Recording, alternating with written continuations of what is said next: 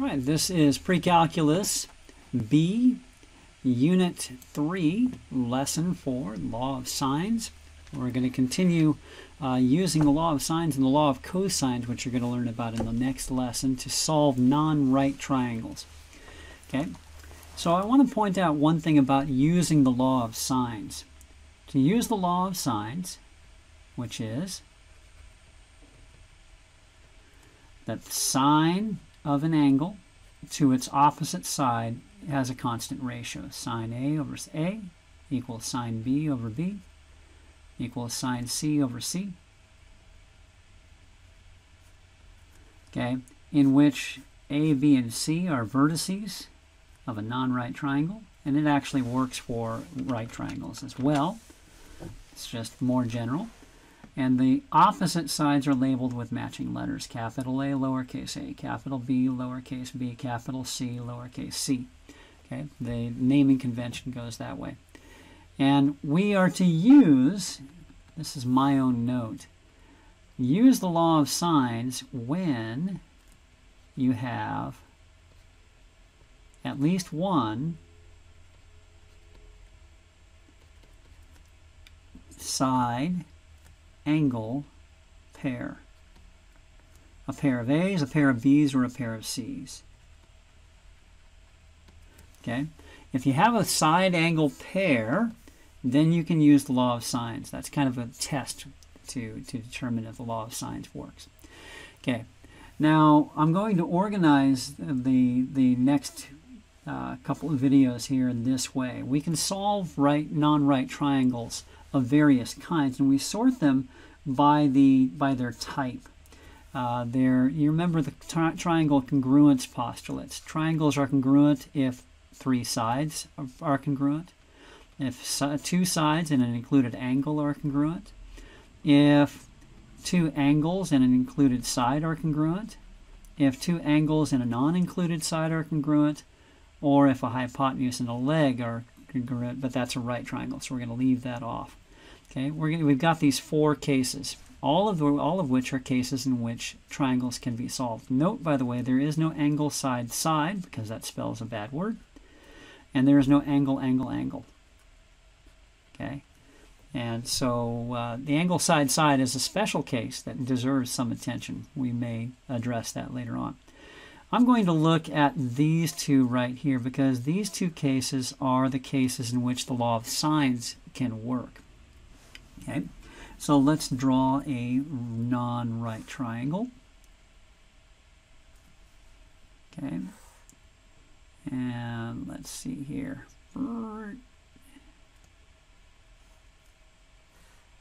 Okay, Whoop. didn't extend that far enough.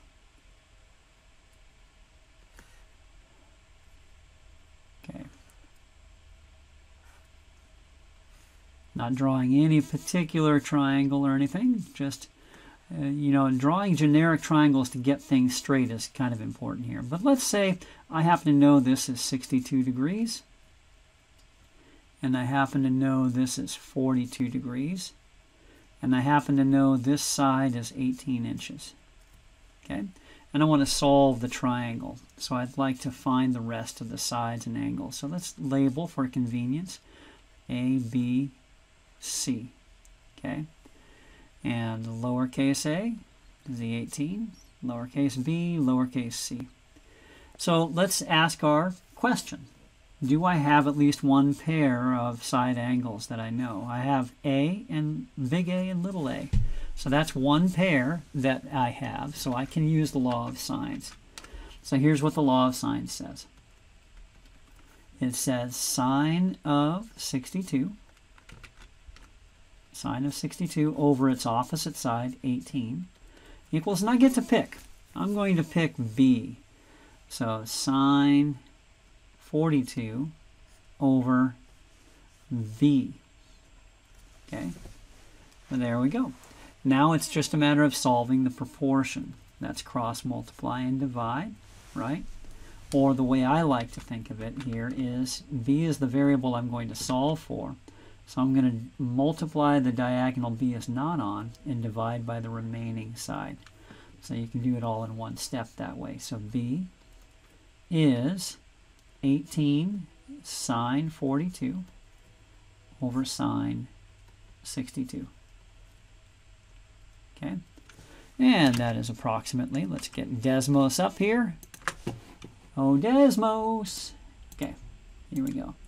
Now, one of the things we need to be aware of is Desmos defaults to radians. We are not in radian mode here. We are in degree mode. So let's make sure our calculator is set to degrees. Anytime you deal with sine, cosine, and tangent, you've got to know which mode you're working with. So 18 sine 42, all divided by sine 62, and I get about 13.6. 13.6 inches. That's B. Okay. And if I want to find C, I can do much the same thing here. Okay. So I can find C the same way. Uh, let's see. Now C, if I want to find the missing angle, we, we need to find that here. Okay. So we're going to subtract from 180.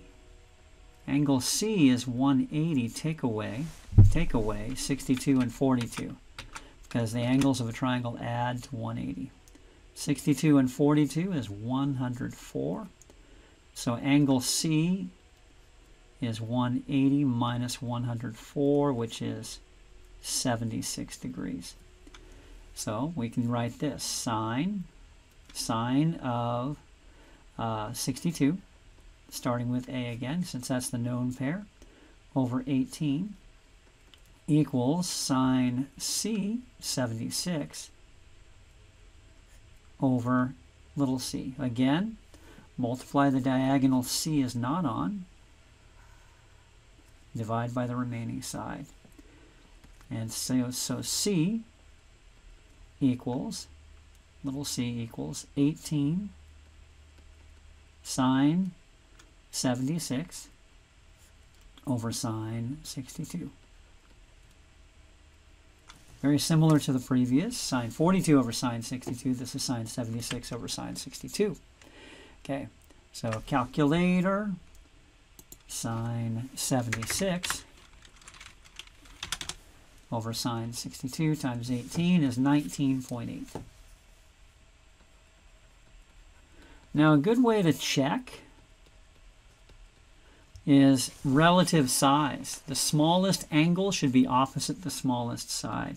The smallest angle is 42. The smallest side, hopefully, is 13.6, and it is. The biggest angle is 76, and the biggest side is 19.8. So biggest should match with biggest, the smallest should match with smallest. It's a good way to make sure that you've got the answers right. Okay, so we found the missing sides and the missing angles. We have solved the triangle.